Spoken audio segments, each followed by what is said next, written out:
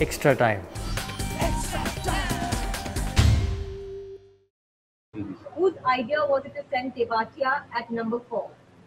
I think it was te- uh, team management. I think it was uh, Coach Macca and uh, Zubin Bharucha, our team uh, cricket director. I think uh, we have been really working hard on uh, Rahul Tewatia. I think he's proper leg spinner, and then we uh, we kind of that management kind of saw the batting abilities he had in the practice matches in the nets he was uh, competing with. So they decided to send him uh, up the order. I think it was a good move. I think uh, I think it was a really brave move, and he made them all proud. What was the discussion that went through in the timeout during chase? Uh, during chase, I think it was. I think there was only one way to go when the chase is happening. I think when you're chasing 220 or 220 or something, I think there is only one way to go. I think only level five gear to put in. So it was really uh, easier. I think when you're chasing around 160 or 170, you need to think twice, like how to how to reach there. But it was a bit uh, simpler. I think it was uh, almost about just uh, see the ball and hit the ball. I think everyone really liked that intent, and uh, luckily that happened. Yeah. When Tewatia was struggling, how did you keep him motivated during your time in the middle? I think I would like to really. Uh, it was a really brave uh, heart from him. I think. I think he never gave up. I think he never gave up. I think he was uh, so down. I, I could see that he was literally so down, and then he he never gave up, and he had the ability to come back and strike those uh, 30 runs of an international uh, player in this IPL. So I think it's a great uh, confidence booster for him, and I think in the coming tournament, I think it will be really useful for us.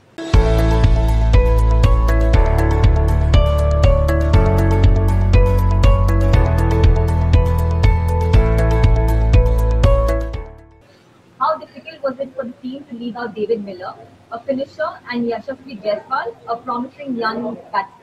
I think it was a more of a team combination or a strategy. I think uh, we we know that Sharjah. I think it's a very tough for bowlers. I think we wanted to add one more bowler, a six bowler side. I think uh, so. That's why Yashasvi came out and uh, Ankit Rajput came in, and uh, definitely having Jos Buttler in the side. I think it's understood understood understood that he has to play in the eleven, and uh, David was David was happy to sit out for him. Why did RR opt to play an extra bowler on a batsman's paradise such as Sharjah? Yeah, that's why I think it's a batsman's uh, paradise. So you need extra bowlers. I think you never know. I think which bowler is going to go for runs. So you need that extra protection. I think it will be a great. It's a great uh, call from the team management to include that uh, extra bowler Ankit Rajput, and he did a marvelous job for the team today. The last question for the day. In relatively smaller grounds like today, Yeah. from a strategy perspective, does it truly make a big difference batting first or second? And how much did the dew factor play, a, play affect the bowlers today? Uh, definitely, I think uh, with my experience, with my small experience, I've understood. I've learned that uh, batting second in smaller grounds are really uh, you you are uh, one step ahead of the opponents. You know what you're chasing. I think they batted first. They scored around 220, and they thought that they might have thought that we have got enough on the board. But smaller grounds and good wickets, I think anything is chaseable in this tournament. I feel. Hit the subscribe option and the bell icon to get all the exclusive sports videos on Extra Time.